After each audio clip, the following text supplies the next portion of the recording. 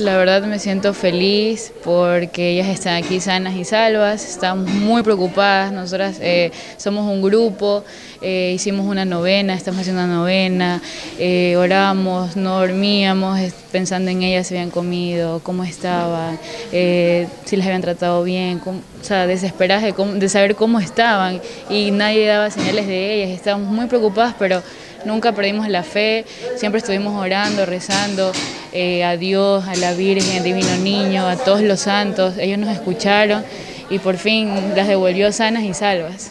Ahora estamos muy felices de que ellas están aquí.